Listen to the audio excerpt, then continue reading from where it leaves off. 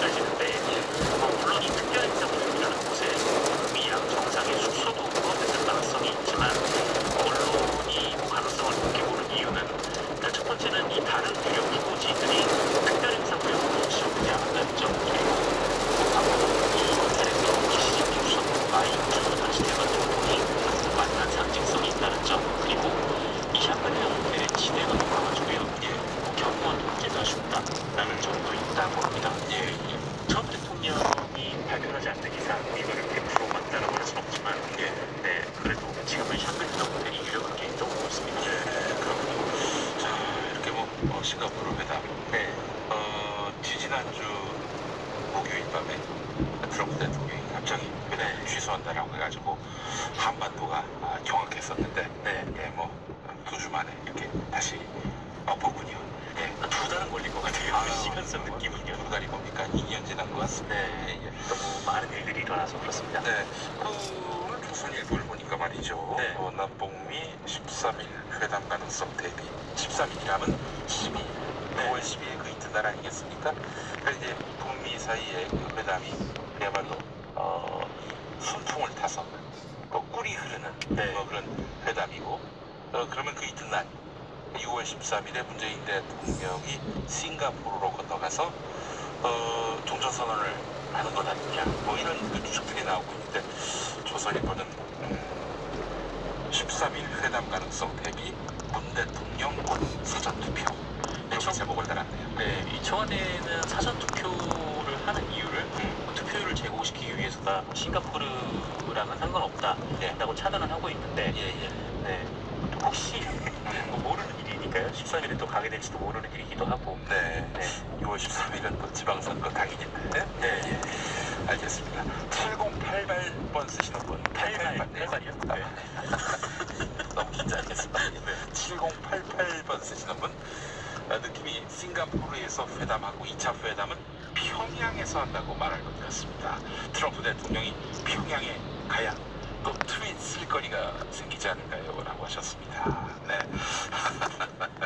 트윗을 좋아하는 네, 트럼프 대통령. 평양에서 회담을 하게 된다면 예. 북한에서 그 와이파이만 구축에 아, 또 힘을 쏟지 않을까. 사전 대비를 하겠군요. 네. 예, 알겠습니다. 자, 다음 소식 볼 텐데요.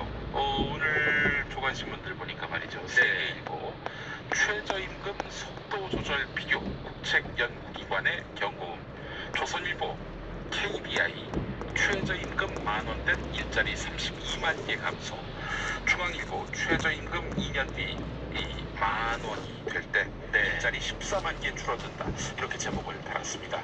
네, 그렇습니다. 어, 이 국책연구기관은 바로 KBI 한국개발연구원.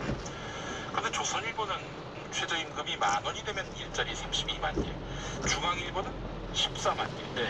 어느 게 맞는 건지 모르겠어요. 이게 최저치 그리고 최대치가 있기 때문에 계산을 한 것 같은데요. 네네. 뭐저 중앙일보는 최저치를 계산을 한 것으로 보이고 네. 뭐 조선일보는 최대치를 합산을 해서 계산을 한 것으로 보입니다. 예, 예. 그래서 한국개발연구원이 최저임금 인상에 그래서 왜 가지고 왔는데 왜 안 가지고 와 그냥 놔둬요 어, 뭘? 뭐 쓰레기통. 어, 야, 그 사람들하고 약속이 돼 있어. 고용 감소 부작용이 더 크다라는 주장이었죠. 그래서 그 그냥 최저임금이 끝난 거 가지고 올게 이렇게 뭐 일자리가 감소할 그 사람들이. 거기 도와 들어가겠다니까 뭐 당장 승근이 형한테 전화 와서 뭐요? 기금이 있어서 괜찮지만 예, 뭐 1만 원 달성을 위해서 2020년까지 1만 원 달성이 목표 아닙니까? 예, 그래서 한 15%씩 이렇게 올리면은 서비스업 그 저임금 노동자를 중심으로 뭐 일자리가 조금씩 커지고 뭐 이로 인해서 일자리가 줄어들 수 있다라는 것이죠. 예, 예. 어, 다만 이제 한겨레 같은 경우에는 이 KDI의 분석 방식이 좀 이제 좀 문제가 좀 있다라는 예. 그런 지적을 하기도 했어요. 그래서 뭐 과거 뭐 미국이나 아니면 뭐 다른 어떤 나라들의 그런 이제 효과들을 뭐 차용을 해서 그렇 게 분석을 한게뭐 부적절하다. 그리고 또 오이니아 사업장을 뭐 포함시키지 뭐 않았다. 뭐 이런 문제점도 지적을 하긴 했는데 네. 뭐 이거와는 별개로 사실 이 최저임금이라는 것이 월급으로 따지면은 세전에서 한 157만 원, 이거 현재로서 그렇죠. 예, 예. 이 연봉으로 따지면 1,900만 원이고 이 최저임금이 만 원이라고 해도 세전 월급으로 따지면 209만 원 정도, 그리고 예, 예, 연봉으로 따지면 2,400만 원 정도여서 이 결코 많은 돈이라고 할 수 없거든요. 예, 예, 예. 다만 아무래도 뭐 자영업자분들은 뭐 비싼 임대료, 뭐 프랜차이즈 가맹비, 카드 수수료 이런 것들을 어쩔 수가 없는 부분 아니겠습니까? 예, 그래서 예. 좀 이런 부분까지 좀 포함 해서 좀 정부가 그 종합적인 대책을 고민했으면 좋겠다 뭐 이런 목소리도 나오고 이 있습니다. 한국개발연구원 KDI 최경수 선임연구원위원이 이 보고서를 작성했습니다. 네네. 이분이 그 CBS하고 전화 통화한 것이 있는데 최저임금 인상률을 15% 수준으로 유지하면은 고용 충격이 우려되지만 우려되지만 네. 정부가 대비하면 고용 충격을 완화할 수 있다라고 강조했습니다. 네, 신문들이 뭐 14만 개니 32만 개니 한 거는 정부가 이제 고용 감소 문제, 고용 충격을 전혀 대비하지 않았을 경우에 나온 것이고, 예.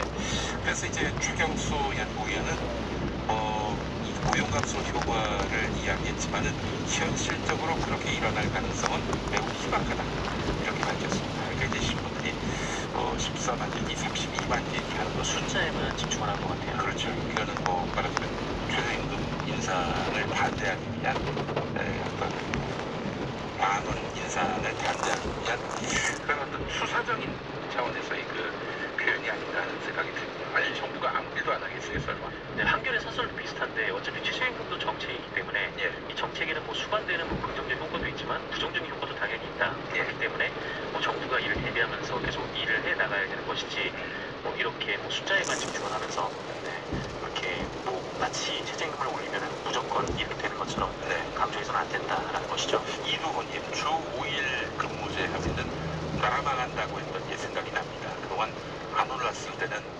그 경제가 활성화가 됐었는지, 그러니까 최저임금이 안 올랐을 때는 어, 경제가 활성화가 됐었는지 네 반문하고 계시네요. 그렇습니다. 예, 수치에 집중하는 게 뭐 정부마다 다르게 다르다 뭐 그런 것도 있는데 예, 뭐 쥐심을 하면은 뭐 몇 조 원의 뭐 이익이 발생한다. 뭐 그랬던 기억들도 나고요. 예, 예. 자, 다음 소식은요. 네, 전국 7개 법원에서 어제 잇따라 판사회의가 열렸습니다. 이날 판사회의를 연 곳은 서울중앙지법, 서울가정법원, 인천지법, 대구지법 등인데요. 이 서울중앙지법은 단독 판사 83명 중 50명, 그리고 배석 판사 128명 중 72명 이렇게 참석을 한 가운데 각각 회의를 진행을 했고요. 어, 그 결과 이 전임 대법원장 재직 기간에 사법행정권 남용 사태로 재판과 법관 독립에 대한 국민의 신뢰가 심각하게 훼손된 점에 대해서 우려하고 어, 구성원으로서 책임을 통감한다면서 이 성역 없는 철저한 수사를 통해 진상 규명을 촉구한다라고 밝혔습니다. 예, 예. 이 서울가정법원도 성역 없는 엄정한 공개 수사를 촉구하기도 했고요. 인천지법 단독 판사들도 뭐 지위 고하를 막론하고 수사 의뢰 등 법이 정하는 바에 따라서 엄정한 책임을 물어야 한다. 그리고 대구지법도 엄정한 수사의 필요성을 강조했습니다. 예, 예. 이 그동안 판사 블랙리스트로 관련돼서 판사회의가 몇 차례 열렸었는데 이 그때마다 자체 진상, 진상조사 그리고 뭐 해법 마련에 방점을 찍었다라고 합니다. 근데 네. 이번에는 이 재판 거래 의혹과 관련해서는 대체로 외부 기관으로부터의 철저한 수사에 초점을 맞췄다라는 게 언론의 분석이고요. 예. 뭐 그만큼 이번 사태를 바라보는 일선 판사들의 눈이 심상치 않다. 네, 그렇게 볼 수가 있겠습니다. 예, 알겠습니다. 자, 이명희 1호 재단 이사장 어, 구속영장 실질 심사를 어제 받았는데, 네, 근데 기각됐죠, 영장이? 기각됐습니다. 네. 서울중앙지법 박범석 영- 영장 전담 부장판사는 뭐 범죄 혐의 일부의 사실관 일부의 사실관계와 법리에 관한 뭐 다툼의 여지가 있고 뭐 도망의 염려가 있다고 볼 수도 없다라고 사유를 밝혔는데요. 뭐 아울러서 피해자들과 합의를 한 시점과 경위, 뭐 내용 등에 비춰서 이 피의자가 합의를 통해 이 범죄 사실에 관한 증거 인멸을 시도했다고도 볼 수 없다. 그리고 증거 인멸에 염려가 있다고 볼 만한 사정에 대한 소명이 부족하다 이렇게 주장을 했습니다. 뭐 이로써 이명희 씨가 풀려났는데요. 심경록 은 기자들의 질문에 뭐 무리를 일으켜 죄송하다라는 말만 반복을 했고요. 예. 뭐 경찰은 영장 기각 사유를 검토해서 재신청 여부를 결정할 방침인데 예, 아무래도 조현민 씨에 이어서 이명희 씨 구속영장도 뭐 각각 검찰과 법원에서 기각이 됨으로써 좀 수사의 차질이 불가피할 것으로 보입니다. 왜냐하면 구속이 되면 아무래도 뭐 추가 피해자라든지 아니면 피해를 당한 분들이 좀 더 쉽게 증언을 할 수가 있을 텐데 예. 아무래도 밖에 있다 보면은 좀 그렇게 어려운 상황이겠죠. 예, 뭐 다툼의 여지가 있다고 그러는데, 아니, 다툼의 여지가 없는 그런 재판이 있었는지 싶기도 하고 말이죠. 네, 예, 그렇습니다. 자, 김선미님의 말씀이 뭐 국민 민심을 많이 반영하고 있는 게 아닌가 싶은데 정치인 때린 사람은 구속, 힘없는 시민 때린 사람은 기각. 법은 누구를 위해 있는 건가요? 예, 요즘 또 사법부가 굉장히 그, 네, 그 신임을 많이 잃은 상태인데 이번 판결, 네, 이거 참 설상가상되고 있는 것은 아닌가 하는 그런 생각이 듭니다. 그렇습니다. 나 문자 보내주신 김진영님, 한예선님도 비슷한 의견 네, 남겨주셨습니다. 다음 이야기는요. 네, 자유한국당의 전신인 한나라당이 2007년 대선을 비롯한 각종 선거운동 기간에 이 매크로 프로그램을 동원해서 여론을 조작했다 이렇게 판결회가 보도했습니다. 어, 한나라당. 예, 예, 한나라당.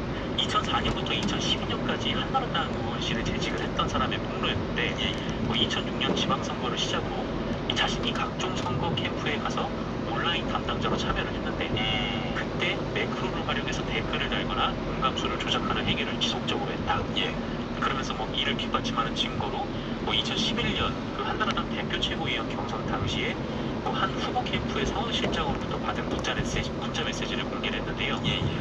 뭐 네이버 등 포털 사이트 검색 1순위 작업 대책 시행 바람이라는 문자를 보내자 이 사람이 야간 매크로 세팅하겠습니다라는 답장을 오. 보냈다고 합니다. 예, 예. 네, 이런 식으로 뭐 2007년 27대 대선 당시에도 이명박 캠프 여론 조작을 했다라고 고백을 했는데 특히 뭐 이렇게 BBK 관련해서는 뭐 드루킹이 했던 것과 똑같은 방식으로 매크로를 써서 이 댓글을 달고 공감수를 조작했다라고 밝히면서 어, 이 사람의 얘기는 드루킹이 그거하고 오사카 총경사를 요구했다면 어, 자기는 국무총리를 요구할 수 있었을 것이다 라고 주장을 하기도 했습니다. 야, 특검해야 됩니까? 어, 그, 그러니까 이 사람의 얘기는 새누리당 야 그게 어이가 없다라는 것이죠. 예, 알겠습니다. 정상국 기자 수고하셨습니다. 네, 감사합니다. 전 2부에서 다시 오겠습니다.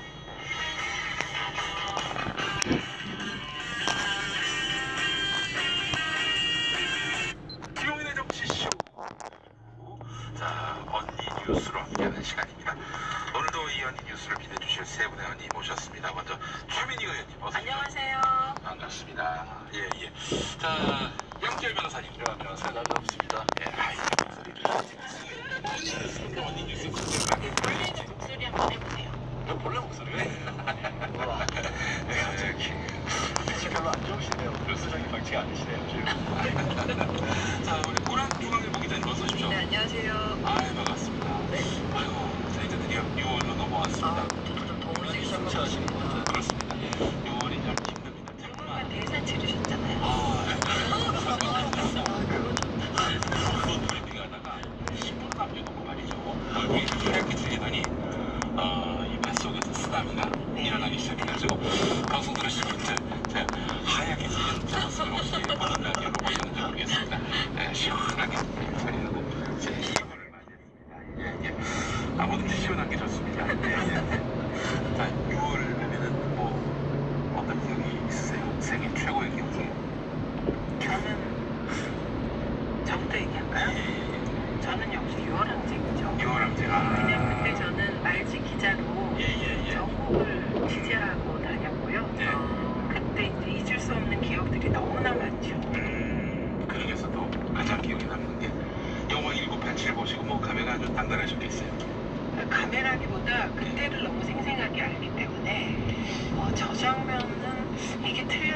장면은 어, 어떻게 저렇게 정확하게 찍 어. 이런 이런 식으로 보게 되니까 영화의 감동은 좀 덜한 것 같아요. 영화 전체만 집중하기가 어려워요. 그 당시 운동권 다 아는 선배들은 강동원이었습니까? 강동원 같은 그런데 이런 건 있어요. 이제 유월항쟁의 주역이 예. 학생운동, 네. 그다음에 지식인, 네. 그다음에 뭐 이렇게 있잖아요. 근데 제가 모시고 있던 해제